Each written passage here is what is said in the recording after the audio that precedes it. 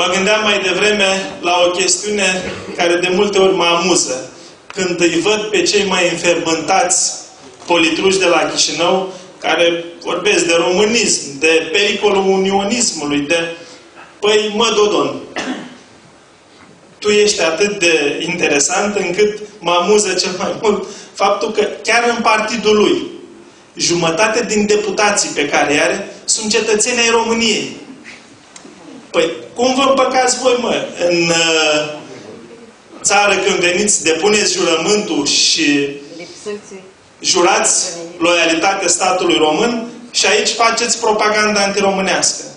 Urâtă situație. Și vă dau un nume. Furculiță e cetățean român ăsta din deputatul de la Dodon. Și mai sunt și alții.